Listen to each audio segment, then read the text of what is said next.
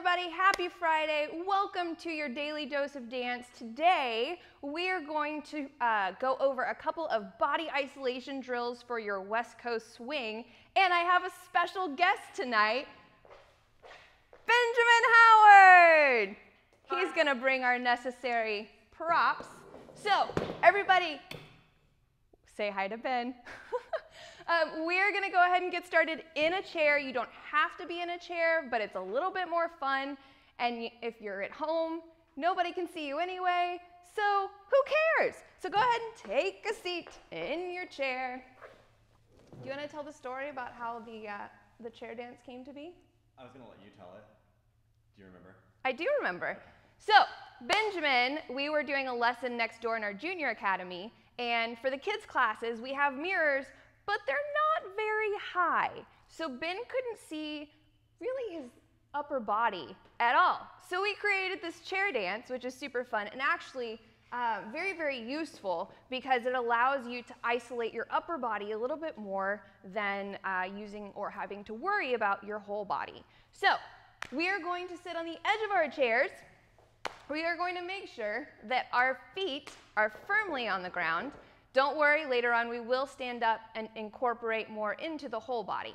But for now, we're just gonna focus on the rib cage. So your hands are gonna be on, your, uh, on the tops of your thighs, and we are going to move our rib cage to the right as much as possible.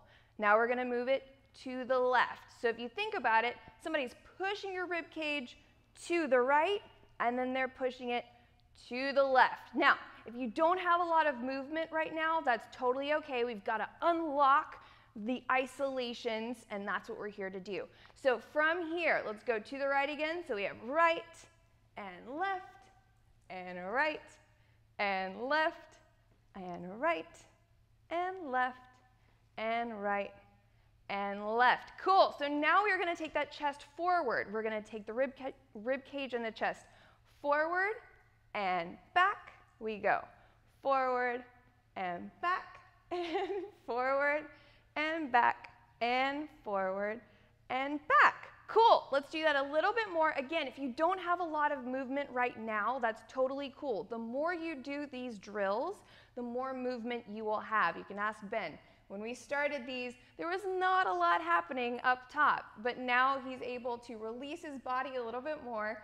Um, and so the more you do it, like I said, the more this will help and the more movement and control you'll have in the isolations of the different body parts. So let's try the rib cage again.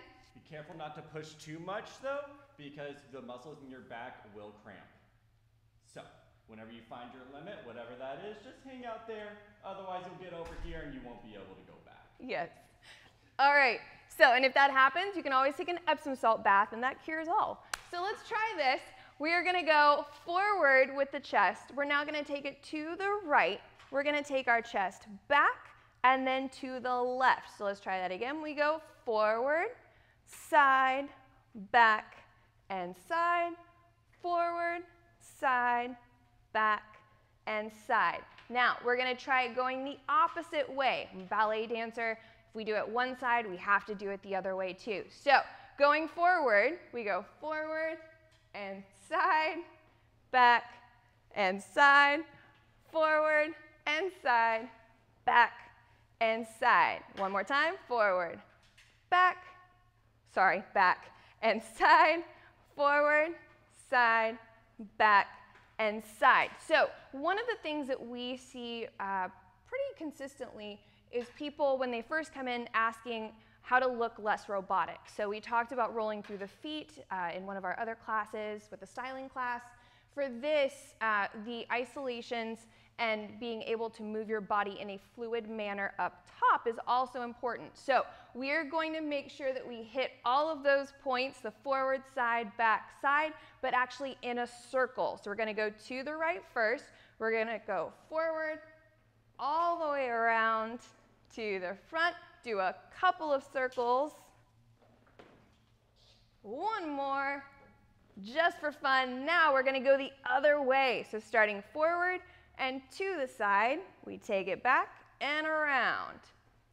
Side, back, around, side, back, side to the front. Cool. So now we're going to move up just a little bit. We're going to skip the shoulders for now. We're going to talk about the head. So the head we are going to take side to side. And you may not see a lot of movement, uh, again, right now, and just in general, if, even if you are comfortable moving, because the head is a little bit harder to move by itself. But you can incorporate that later in a couple of fun ways, being able to move your and roll your neck a little bit for uh, dips and tricks and ducks and all that fun stuff. Um, what? Hair flips. Hair flips. Little hairography for you. So we're going to go to the side first. We go right and left, right and left, right and left, right and left. So even if you feel a little silly doing this, again, we're isolated in our house, so we might as well have a little freedom in our isolations here. Why not? All right, cool. Now we're going to take this forward and back. So we go forward and back, forward and back, forward and back, forward and back. We're going to do that in our diamond now. So we're going to go forward to the side, back and side, forward, side, back, side. We're going to roll it out, roll it around, roll it around two more times. Then we're gonna go to the other side. So we go forward, to the left, back, and right, forward, left, back, right, roll it out, roll around, roll around, roll around, roll around. And hopefully that won't get you too dizzy. You shouldn't be doing this too much, although that does release the neck quite a bit. So if you're not doing that isolation drill, good roll of the neck is also nice too. All right, so now let's go ahead. We are going to get rid of the chairs. We are going to stand up. Since Ben can, well, since you can see all of Ben here, we can stand. So, dang it. This mic thing does not want to stay on. All right, so we've done our rib cage, we've done our head. We are now going to talk about the hips.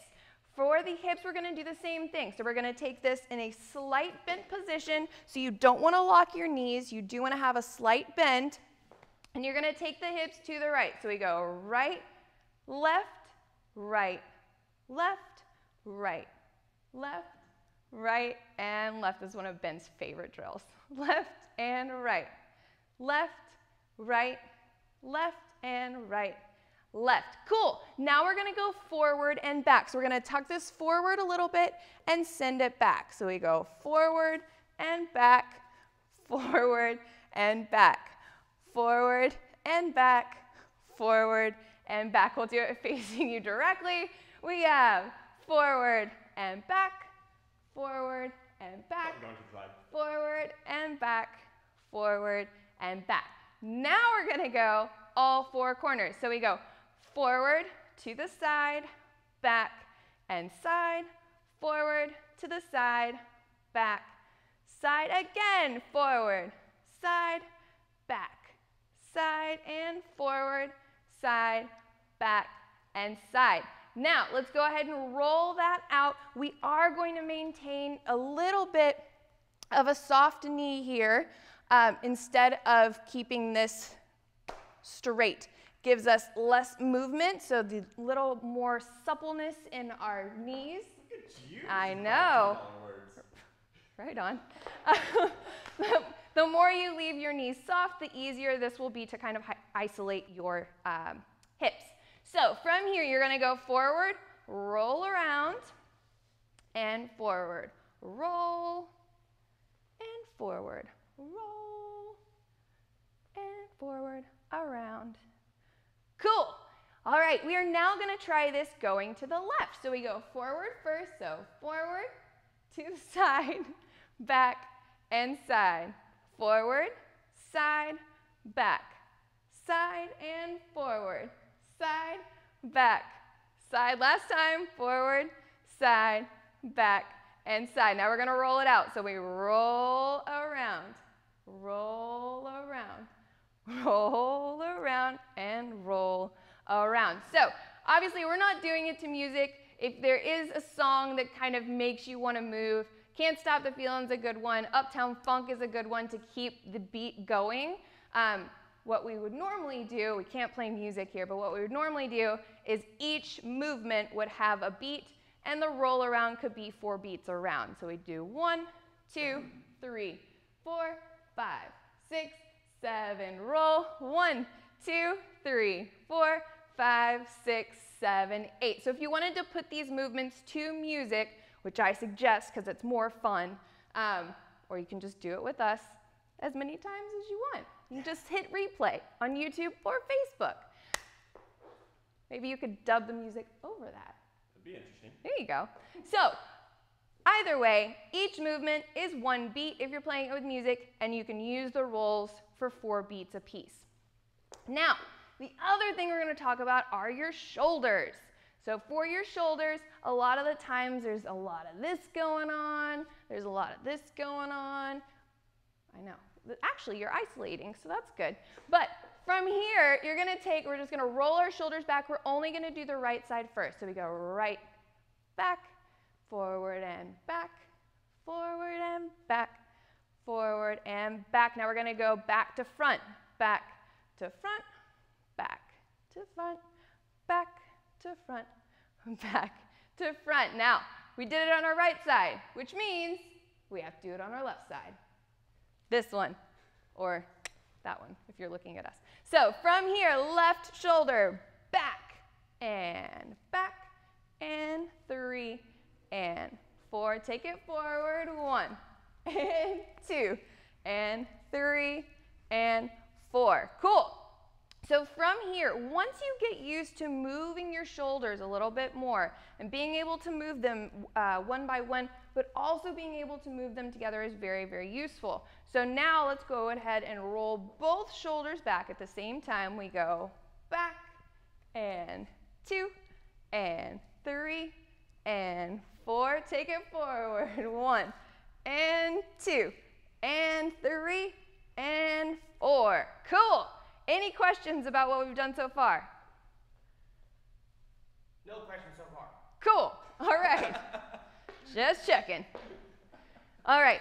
So we are now going to add a little bit of an angle to your movement. So for the shoulders, instead of just being straight to the side, we're going to add a little bit of an angle. So we angle and take it back. Now our left shoulder is on this angle to the left. We're going to angle that and take it to the back. So we angle, take it back, angle and back, angle and back, angle and back. So you'll see there's a little bit of a natural movement from, uh, from where your natural, uh, from where your body lands, the weight actually is going to land on the left foot which means, again, do we need this? We'll find out. All right. so from here, once we go on an angle, so we've started on this diagonal, and we take that shoulder back. So I'm only moving that shoulder, but now my left shoulder is free. I have a little bit more weight on my left side, which enables me to be in control to change my weight underneath. So there's a little bit of a ripple in the body or cause and effect. From here, when I move the shoulder to the leg or to this angle, from here, it allows me to move underneath as well. So I move my shoulder, but then there's a natural movement that happens underneath as an effect. There we go. Good.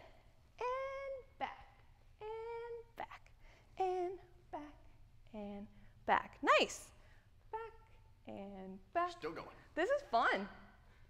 And back, especially if there's music. So pick a song, do whatever you want to that, but you can kind of get into it a little bit more.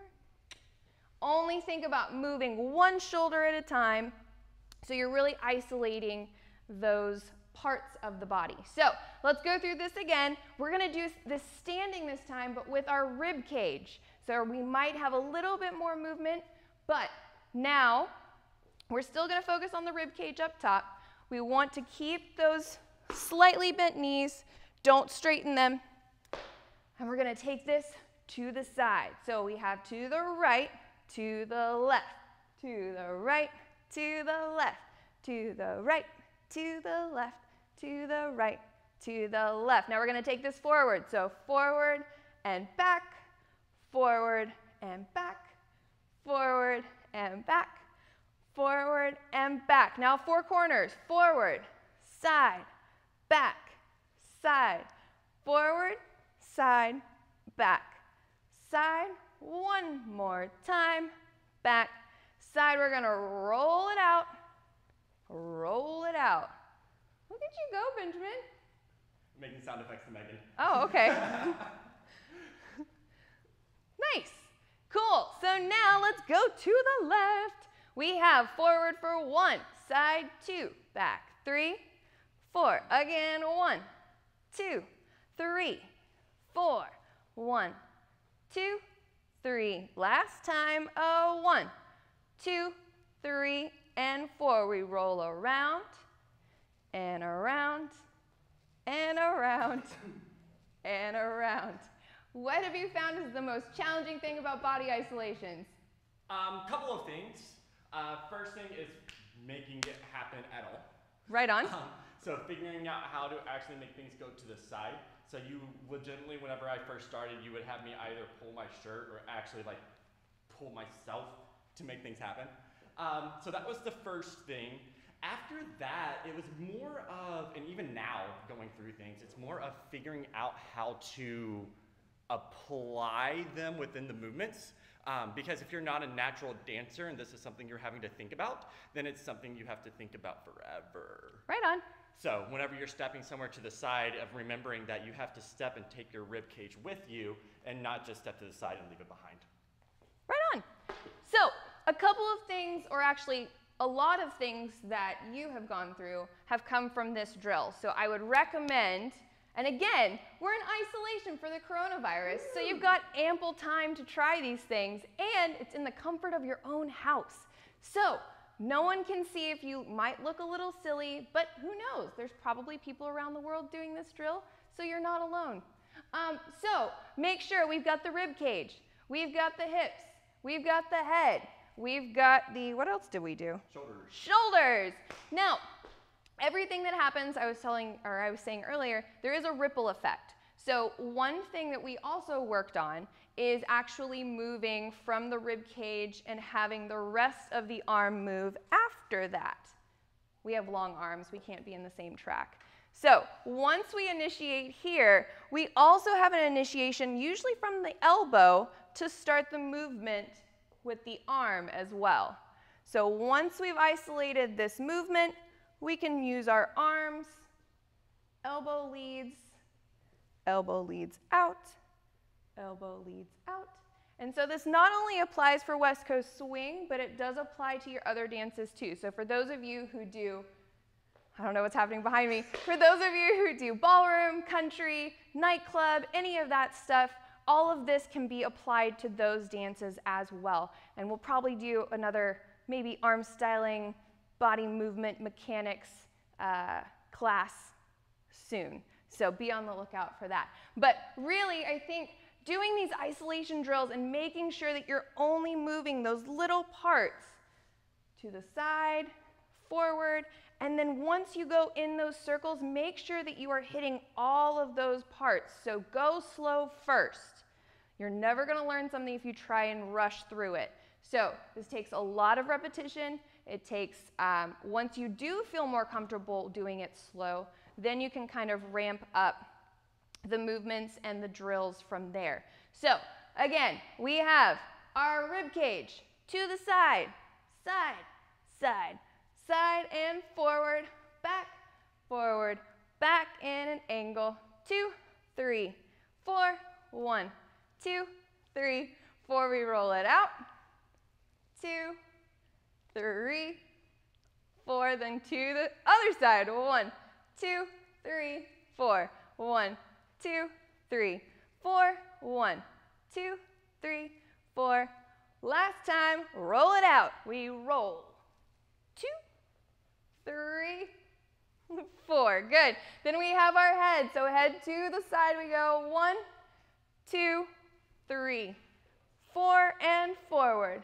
Back, forward, back. We uh, forward, side, back, side, forward, side, back. Roll it out. We roll, and two, and three. It's probably the most awkward, but kind of cool. One, other side, two, three, four, one, two, three, four. We roll it out, roll it out, roll it out, roll it out. I remember, oh, this makes me think about one of the, it was either Rising Star or Classic routines. It was Bryn Anderson and someone else, but Bryn Anderson is really, really good at these, the head isolations. I can't remember who she dances with, and it makes me, I really loved their routine, and I can't remember, and Female dancer and partner. it was at the US Open, so you can check them out. But she does this really cool like movement thing with the head, so this does apply to your West Coast swing.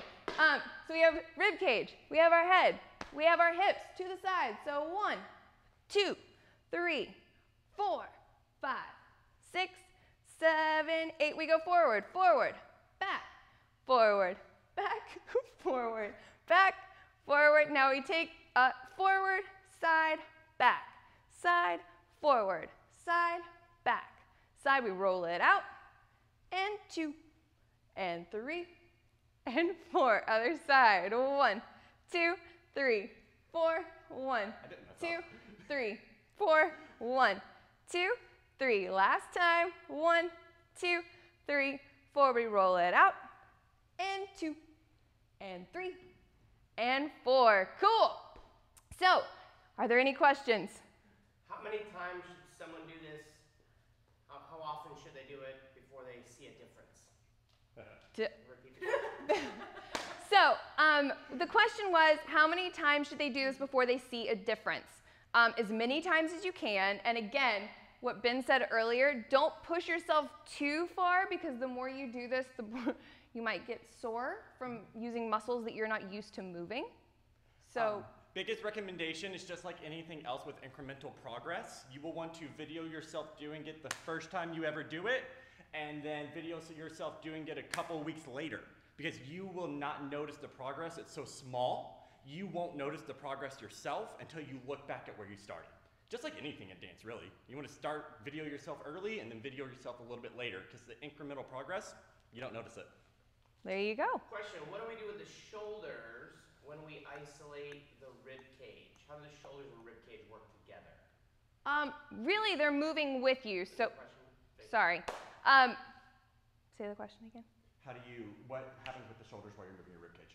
What happens with the shoulders while you're moving the rib cage? So really, I'm not thinking about the shoulders at all. I'm thinking about moving my rib cage to the side. So even, I think Ben mentioned this earlier, I would have him either pull his shirt to move, or I would push it whichever way you're going. But your shoulders, you want to keep them probably lifted. You want them rolled back, but I'm not thinking about those when I'm moving the rib cage. So as long as they're not rolling forward, bad posture, good posture.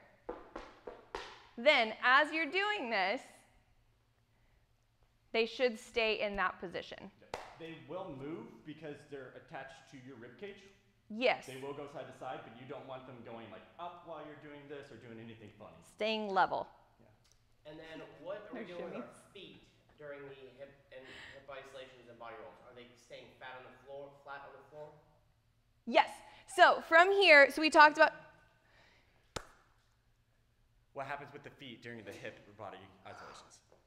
So, what happens with the feet while we're moving the rest of our body? From here, you are not going to lock your knees. You're going to keep them soft. So, from here, you shouldn't have to move your feet at all. That's one of the reasons that we did the chair in the beginning, so that they don't move and they stay flat on the floor. Same thing applies when you're standing. That's why we add a little bit of a bend with the knees, but they should not be moving at all. I'm staying over the feet and they're not moving from their spot.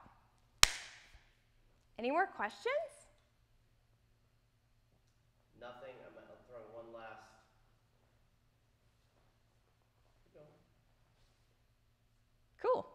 Um, okay, so um, we will probably be doing another uh, another class like apply all of this stuff. Much like what we did with the anchor steps and the anchor styling, Megan and I went over all of the drills first, gives you a chance to practice and come back with any questions. And then we can, uh, we can, in the future, apply this to different West Coast swing patterns. So that gives you a little bit uh, of an idea of what to practice for your body isolations for West Coast swing.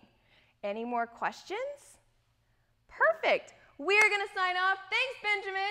He's not behind the camera right now. He's about to be in a second. But hang tight. Brian and Megan are coming back with some spins and turns for your West Coast swing. Thanks for hanging out.